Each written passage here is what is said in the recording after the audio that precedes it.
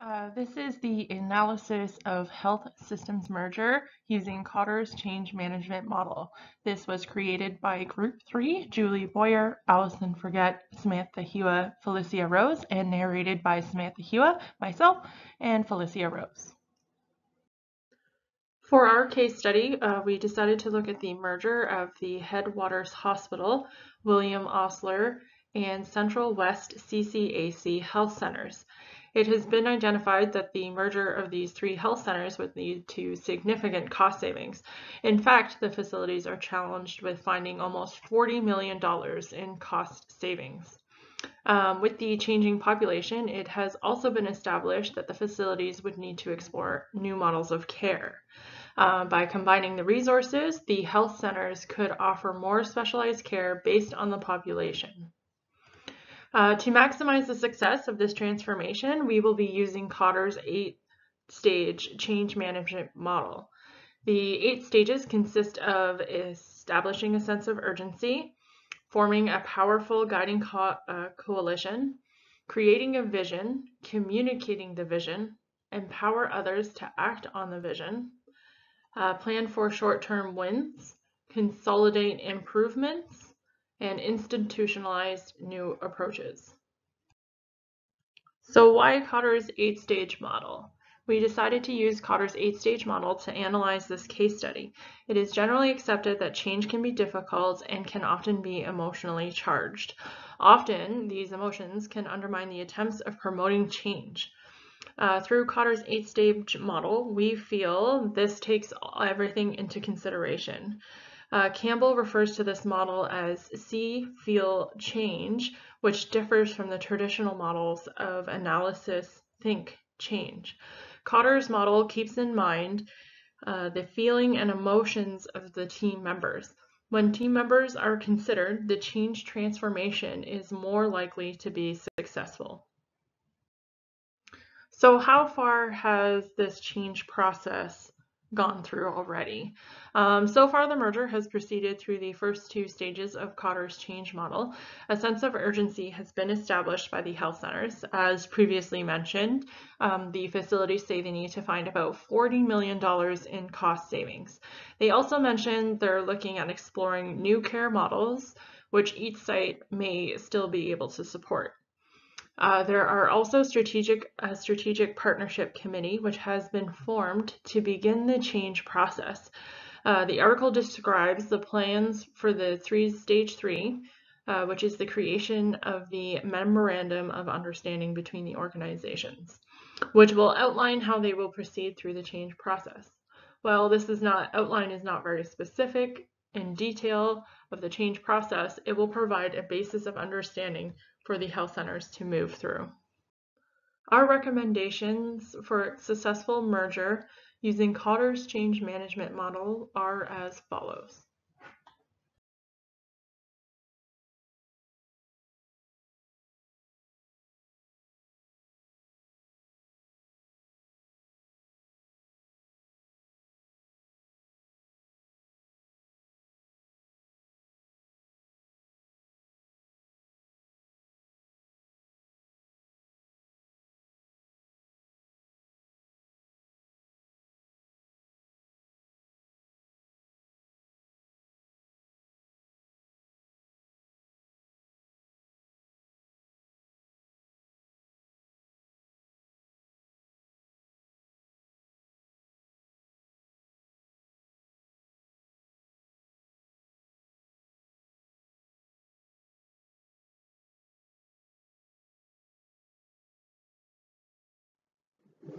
Our first recommendation involves stage four of Kotter's change model. Stage four stresses the importance of communication. Every facet of communication needs to be used effectively to communicate the new vision and strategies. Through open communication, opinions, concerns, and fears can be expressed and taken seriously. This stage also recommends demonstrating new or changed behaviors as an example.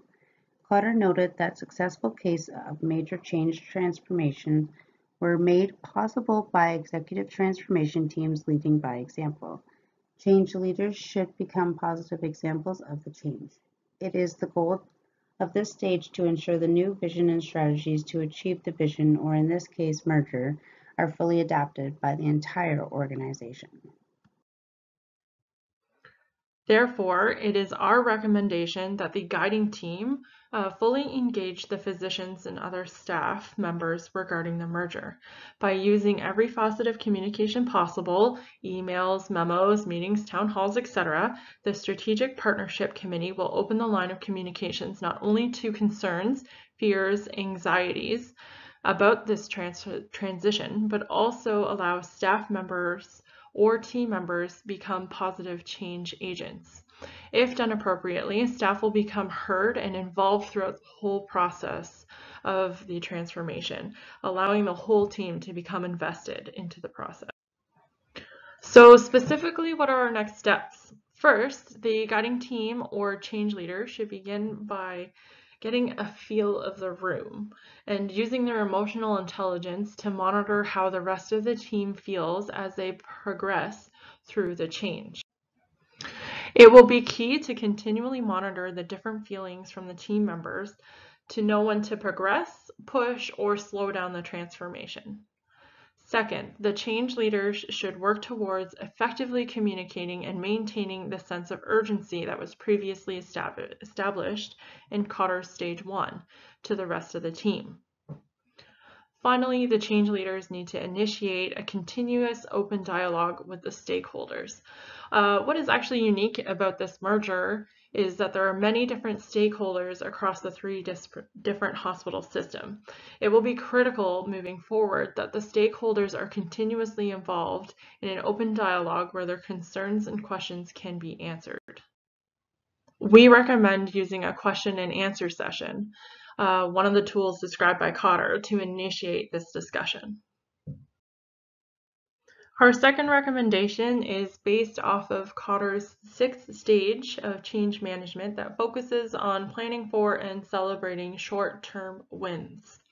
By breaking up a large project, or in this case, a merger of three major healthcare providers, into smaller achievements, each goal can be met and celebrated, creating measured success and improving morale. While the completion of the merger will be the ultimate goal, large-scale transformations such as this will take time. And in that time, be it one, two, or three years, the change management team risks losing momentum, thereby losing support of their stakeholders, staff, and physicians. The goals of Kotter's sixth stage is not just to hope for opportunities to celebrate, but to actively create situations that can be seen as an achievement. And the change management teams will want these wins to be big and visible with much pomp and circumstance as possible. This will add to the credibility to the change process. The change management team will want to think of this in the terms of plan, achieve, reward. Therefore, set a goal with a deadline. Specific to this case would be drafting a memorandum of understanding between all the parties involved. Plan by meeting and brainstorming a document that is satisfactory to all. By setting a deadline, they renew a sense of urgency that can get lost over years of a long project. It adds to the pressure as well, and therefore motivation to keep the wheels of this project in motion achieve the goal. Have a draft ready for stakeholders to review. Show the public that progress has been made. By making wins highly visible, it also adds credibility to the process that will largely take place behind the scenes. This will reinforce that the project is still top priority, even though they might not hear about it on a daily basis. And finally, reward. Show recognition to individuals and staff that assisted in the process and make note of those who truly acted as agents of change, those that supported the project and worked to make it happen, whether it's a promotion, a salary increase or bonus, or even just acknowledgement of a job well done. These are positive motivators that will keep the change team feeling valued and inspired to see them through the next task. In addition to all of this, short-term goals serve as checkpoints. They can force clarification or revision of an ultimate goal as time passes and more knowledge is gained. As each step is completed, more information may come to light that will require modifications to best suit the corporations, the staff, or the community. In terms of the merger of Headwaters Health Care Center, William Osler Health System, and the Central West CCAC, there were several of the steps that needed to be completed in order to achieve their objective. The first was to generate feedback from the community, followed by review by the Central West Local Health Integration Network, approval from Ontario Minister of Health, and the changes made to the provincial legislation. It is the recommendation of our group that each of these be viewed as individual projects that, when combined, ultimately contribute to the conclusion of the merger. Using the generation of the community feedback as an example, we would recommend the merger team advise that the staff, position, and the community's opinion is desired on this subject. Use social media, newspapers, and canvassers to gather stakeholders' thoughts, comments, and opinions, then compile them into an easy read format. This will allow the merger team to create knowledge of the project as well as solicit community support while highlighting the benefit of the move. By publicizing the results, especially if they are favorable, will drum up further excitement and motivation for the team to keep the wins coming. It is also a good time to make the note that these are the working hard for the merger as they are as they may also play a key role in our next recommendation.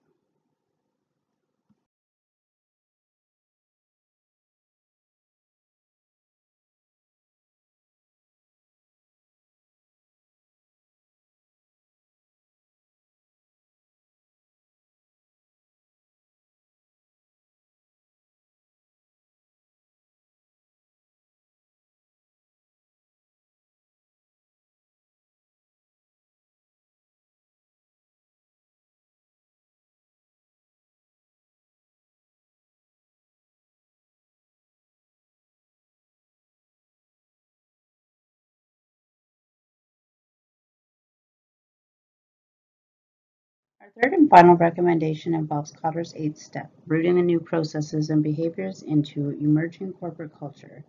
If the newly implemented change is not rooted, there is a risk of black slide once the pressure of transformation is removed. There is two factors that ensure that this does not occur as suggested by Kotter. The first is to ensure everyone is, to, is aware of how changes to the corporation is a benefit. By demonstrating how the new approach is an improvement, individuals are more likely to embrace this new model's change. The second is to reinforce those improvements through the next generation of leaders. This is where the reward from Kotter's sixth step can be demonstrated for those that showed themselves to be great agents of change and whose role was integral to the change process. From planning to implementation to those supported the change can and should be rewarded with promotions to decision-making roles that will reinforce the new values and approaches of the corporation. It is the recommendation of our group that once the amalgamation of the three healthcare corporations is complete and a single CEO and board of directors is established, that they set about incorporating Kotter's two factors for success in their new system to plan for and once again celebrate new successes with stakeholders, be it decreased wait times, increased access to care, or cost savings, and demonstrated successes will serve to reinforce that the new conglomerate is functioning well and as well remind everyone that challenging times they may have faced during the transition was well worth it and that their trust in them and in the process was well placed.